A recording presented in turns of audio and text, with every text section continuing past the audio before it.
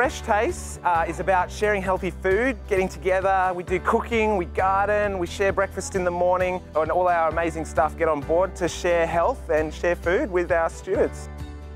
One thing that we like about Fresh Tastes is how we all work together and we all have one simple goal which is to try and make the most healthy environment for the students at our school. At Charnwood Dunlop School, it's really important that our students actually uh, direct a lot of our learning. In the cooking group in particular, they pick different foods that we're doing, and then we sort of do a little bit of adapting so it's a little bit healthier, and then we get to share. But the, the students really enjoy what we, what we do and all the different food we make.